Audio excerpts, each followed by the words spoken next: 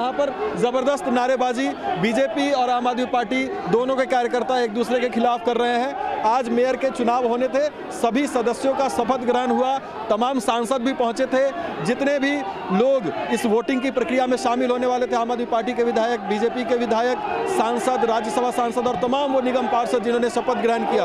और सबको ये उम्मीद थी कि आज मेयर के चुनाव हो जाएँगे और दिल्ली का मेयर कौन होगा, ये फैसला हो जाएगा, लेकिन ये निर्णय अंत नहीं हो सका। जिस बात की आशंका थी कि हंगामा हो सकता है, वो हंगामा हुआ और हमारे साथ यहाँ पर सांसद प्रवेश वर्मा भी जुड़ गए, उनसे बातचीत करेंगे। आज भी आम आदमी पार्टी के पार्षदों ने गाली गलौज किया, हंगामा किया, वो आज भी टेबल पर खड़े हो गए। ये साफ़ साफ़ वीडियो में दिखाई दे रहा है। मैं तो खुद ही अंदर मौजूद था।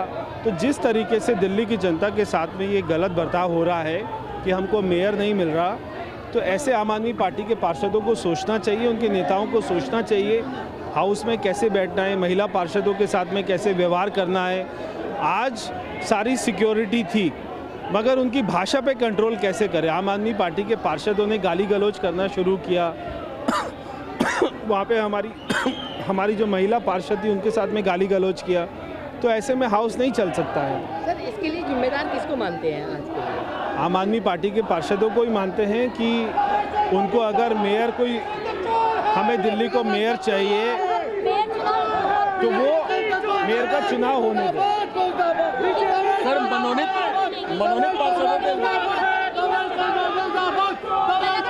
अब जो भी पीठाधिकारी अपना तय करेंगे वही अगली तारीख होगी। आप देख सकते हैं तस्वीरों में कि एक तरफ़ बीजेपी के सांसद मीडिया से बात कर रहे हैं और दूसरी तरफ़ आम आदमी पार्टी के कार्यकर्ता जो हैं आम आदमी पार्टी के कार्यकर्ता यहाँ पर हंगामा कर रहे हैं नारेबाजी कर रहे हैं। यहाँ पर एक धक्का मुक्की भी देखने को मिल रही है। आम आदमी पार्टी के कार्यकर्ता जब बीजेपी के सांसद प्रवेश वर्मा बातचीत कर रहे थे मीडिया से, तब वहाँ पर नारेबाजी की है और उनके खिलाफ यहाँ पर नारेबाजी हुई है। सांसद प्रवेश वर्मा अब यहाँ से निकल रहे हैं। उन्होंने बातचीत में यही बताया कि तमाम जो बीजेपी के कार्यकर्ता थे वो चाहते थे कि वोटिंग की प्रक्रिया पूरी हो, लेकिन लेकिन आप देख सकते हैं कि नारेबाजी यहाँ पर हो रही है। आप लोगों के खिलाफ ही वही, आप पर ही आरोप लगा रहे हैं उल्टा। देखिए, आम आदमी पार्टी के सभी कार्यकर्ता यहाँ पर बिना पास के अंदर घुस गए हैं।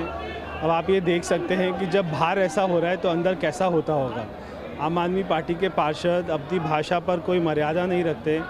जब बाहर वो ऐसी भाषा बोल रहे हैं तो अंदर वो कैसी गाली गलौज करते होंगे? तो ऐसे में हाउस कैसे चल सकता है? मनोनीत पार्षदों के वोटिंग का एक मुद्दा था। उनका कहना था कि उनको वोटिंग प्रक्रिया में शामिल ना करें।